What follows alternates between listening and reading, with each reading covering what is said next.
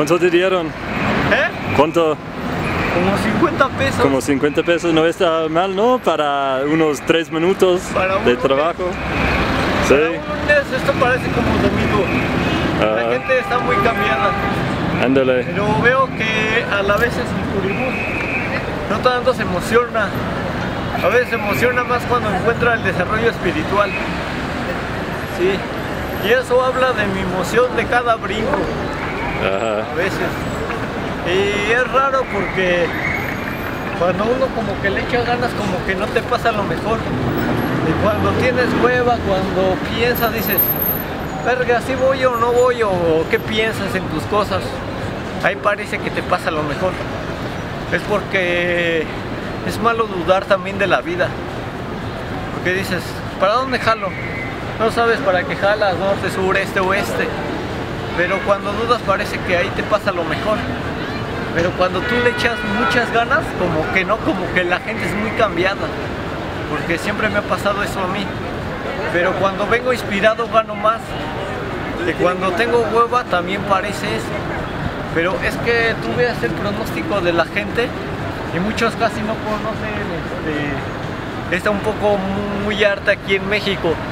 Esta arte basa de Rusia, de los planetas donde hay más frío, de esas partes, ¿no? Tú también conoces el parkour allá en, de En Francia.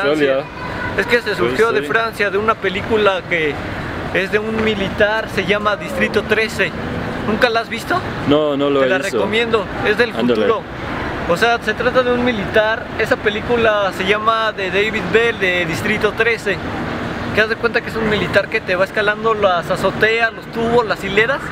Y o sea, que lo quiere atrapar la banda, pero. O sea, la banda le dice que, o sea, que lo va. Que lo va a matar y todo eso, güey. Pero en caso de esa película tiene mucha ciencia porque ese sujeto es muy hábil y escala los tubos, las paredes, así salta como yo, pero en las azoteas. Búscala, te va a gustar mucho la película, se llama Distrito 13, Ándale. ¿Nunca la has visto? No, sí, pero Distrito sí, ya la 13. voy a ver. de David Bell. Ok. Las más películas más conocidas al parkour a nivel mundial son este la película de Distrito 13 y la película de los Yamakasis.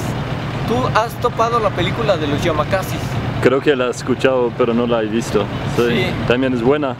También en México practican dos grupos muy buenos, los que son los Urban Runners y los monos urbanos.